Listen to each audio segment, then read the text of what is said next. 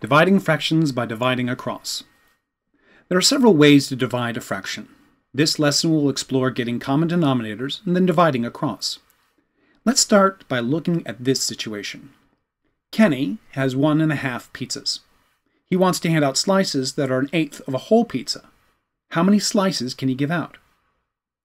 To start with, let's see if we can figure out the answer by using a model. First, we'll divide the whole pizza into eighths. This will give us 8 pieces.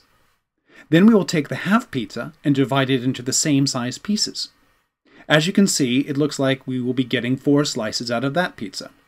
So in all, there will be 12 slices of pizza that are an eighth in size. Now, let's try solving the problem by getting a common denominator and just dividing across.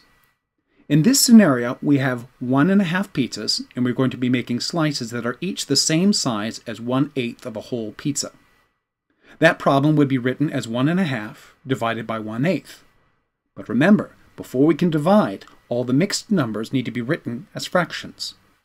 Therefore, we need to change 1 and a half to 3 halves.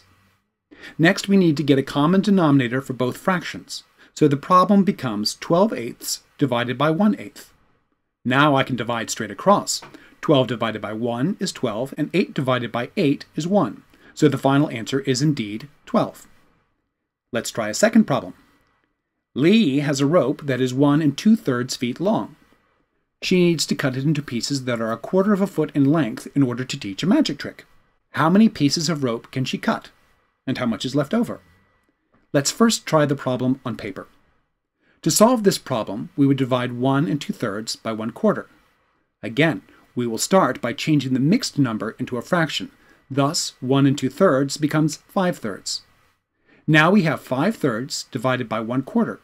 Since the denominators are not the same, we need them to match up by using the common denominator of 12, giving us 20 twelfths divided by 3 twelfths. When we divide across, we get 20 divided by 3, which is 6 and 2 thirds, and 12 divided by 12, which is 1. Since dividing by 1 does not change your answer, the final answer is 6 and 2 thirds. Let's check the problem by drawing out the situation. Before we start, let's mark the rope into inches.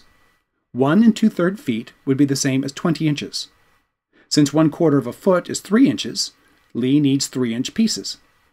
If we make a cut in the rope every 3 inches, we will end up with 6 pieces of rope that can be used for the magic trick, and a short, unusable piece that is only 2 inches long or 2 thirds of the needed length. Let's consider one more situation. What if we had 3 eighths divided by 1 quarter? Do we need to get a common denominator? Well, not really. 3 divided by 1 is 3, and 8 divided by 4 is 2, so the answer is 3 halves. Usually you need to get a common denominator. Can you explain what makes this situation different?